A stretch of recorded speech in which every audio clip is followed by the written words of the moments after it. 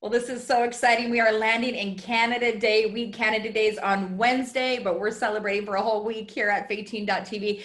There are some exciting things happening this week, and right uh, with me right now to talk about it is Art Lucier from Harvest Ministries International and the Battle for Canada. Thanks for joining me, Art. Always a pleasure, Faytene. Always. Well, you love Canada. We love Canada. That's why I'm smiling so much. I, I this is one of my favorite weeks of the year. Uh, but there's something happening this week uh, called the National Day of Prayer. It's going to be a full eight hours of prayer, fasting for Canada, and we're also, or you're also going to be launching a 24/7 online prayer room for Canada. It's going to be running for a full year. Tell our viewers about it and how they can get involved. Well, it was a high and lofty initiative, but we felt the Lord say, do it.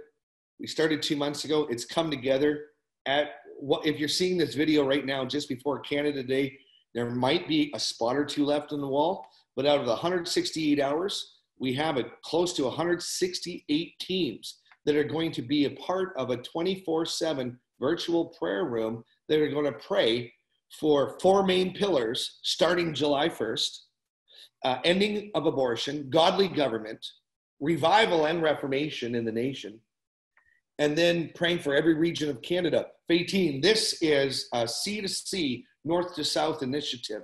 We've d- divvied up Canada into eight regions. We have eight leaders, and they all have watchmen under them. And so, if like when Pat Francis got a hold of me, she goes, "Well, what would be my region?" Ontario. I said, "No, well, you're GTA. I'm Kelowna. So when, when it's my prayer hour, I'm going to be praying for the Okanagan region. And so when my kids are on their prayer hour, prayer hour they're praying for Kitimat. We're going to hit every region in the nation for for a full year and just see what things look like in a year from now. Well, that's amazing. So you mentioned that there's people that are leading the prayer times. How about people that just want to participate? Can anyone who's watching this, can they get on their computer? Can they pick up a phone, dial a number, and actually join in with this 24-7 prayer room? Okay, so right after the National Day of Prayer, which we're going to talk to you about, on Canada Day, we're going to be launching for the public the Canadian Firewall. You're going to go to www.canadianfirewall.ca. You're going to have a link to the wall, and it's going to look just like me and Faytene here right now praying. There might be three people, five people, 10 people every hour on the hour. This is anyone can watch Faytene. They can even chat. They can throw their prayer requests in there. They're not necessarily going to get on with their video and their mic, but they're going to see it. Are you bored? Is there nothing on Netflix? Say, can you, maybe you don't sleep at night really well. Click the link, get on the firewall, come and pray with us. It's open for everyone. It's not hidden. This is, um, this is for everyone.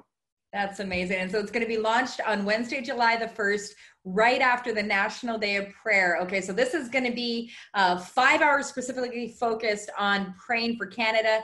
Three yeah. hours prior to that, different global voices, uh, Cindy Jacobs, Rick Ridings, Dr. Pat Francis will be bringing some exhortation. Where can people find out about the National Day of Prayer and register for that? Yeah, so you do need to register for this. Most of you are, this is not new to you.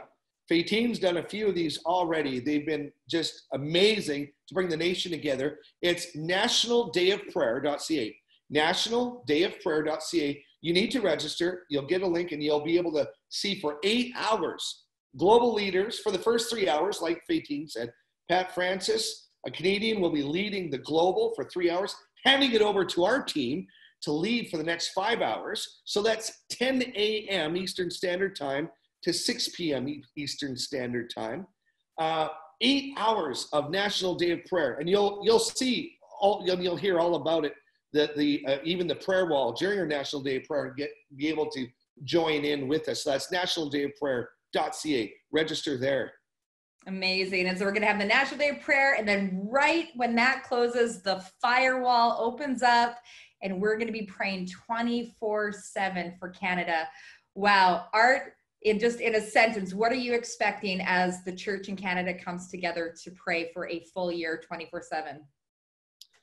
I believe a lot of our prayers that we have prayed are going to get answered in the future. Like, I believe a lot of the prayers that we're praying now for the ending of abortion, godly government, revival, I believe it's on our doorstep. I believe this is one solid, good push near the end to see this happen, to see our prayers come to pass. That's what I truly believe, Faytene. I really do. Amazing. So nationaldayofprayer.ca, firewall, canadianfirewall.ca or .com? Yeah, no, .ca, canadianfirewall.ca. In, in, in fact, if you're watching this, there might be a couple hours left on the wall. Go there and see and join us. We don't want any gaps on the wall. So join, yeah. Well, thank you so much, Art Lucier, for mobilizing 24 7 prayer for Canada. I know it's going to make a huge difference. We believe so, Faytene. God answers prayer.